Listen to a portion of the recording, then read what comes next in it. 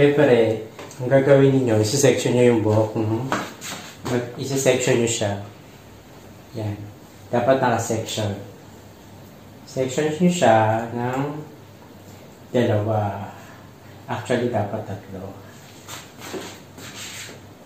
Tawag dyan is T-section. T. Tapos, mag-start tayo dito sa nape area. Pero bago ang lahat, bago kung pag gusto nyo mag-blow dry, syempre dapat ano, um, may naka-ready kayong ano, may naka-ready kayong plancha, ay, kaya blower, ganyan. Tsaka yung roller brush. Papakit pa sa inyo mga.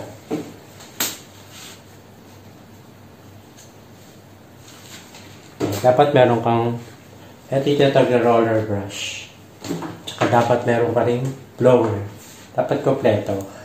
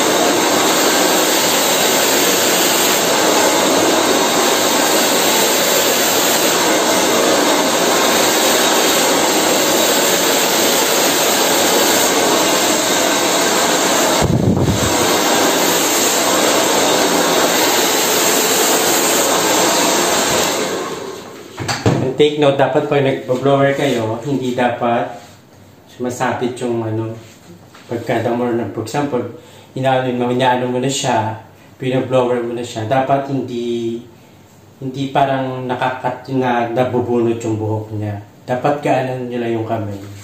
Hindi pwedeng, ano, hindi pwedeng parang ang bigat ng kamay nyo kasi nasasaktan ng mga customer nyo pag ano. Dapat gaanan nyo lang.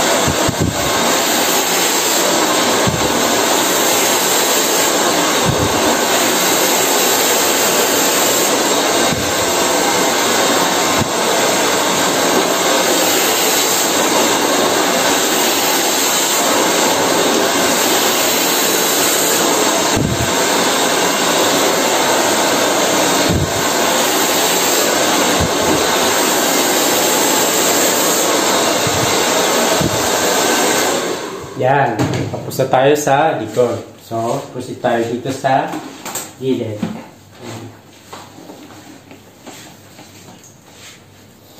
Yeah, kita niyo maganda yung model ko.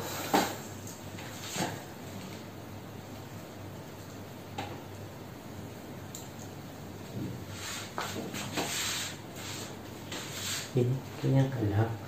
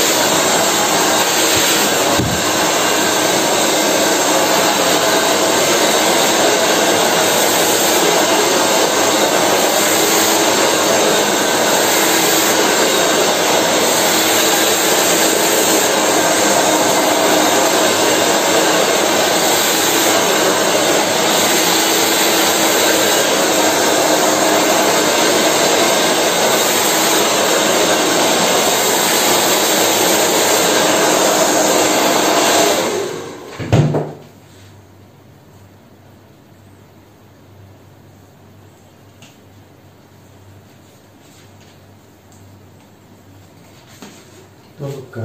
Nanto ako. Yan,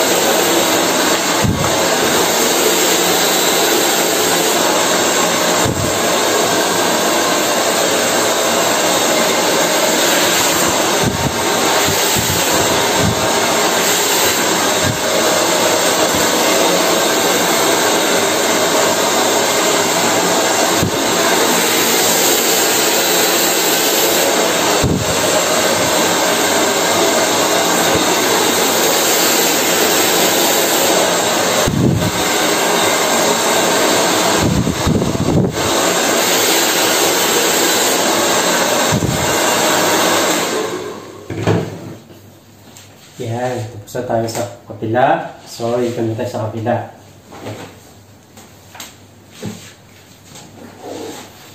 Oo, mas na. Tulog ka muna. Ang babalik ako ng 2.30.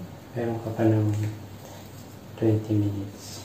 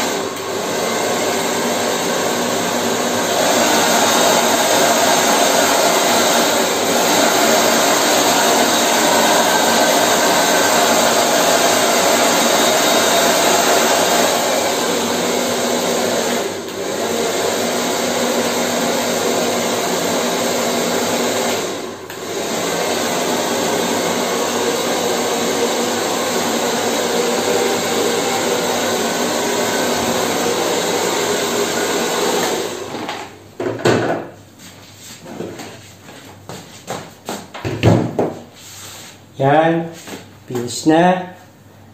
At yan ang tamang pag-blow dry. Para sa ba- basic lang itong tinuro ko sa inyo, hindi pa to yung talagang ano. Kasi kapag gusto ng customer is ah, talagang as in blow style, nandiyan yung gusto niya naka-volume, marami pang technique yung para mag-volume. Pag sinabi kasi basic lang, straight lang talaga siya. Hindi siya yung straight din siya, pero tamang blow dry lang. Pero ano ah nakaka is gusto niya gusto niya yung straight lang. Pero pag gusto niya yung ano blow style, blow style talaga sim talagang naka-volume. Makikita mo yung mga buhok din, mawak-buhok ng customer, naka-volume siya. So, may strategy yun para ma kung paano mo siya i-blower. Okay? So, yan lang for the meantime, yan lang muna ituturo ko sa inyo. Pero, next time tuturo ko sa inyo pa ibang, iba pang, ano, iba pang pa, tamang pag-blow dry. Yun lang mga boss at thank you for watching at ingat po kayo palagi. Salamat!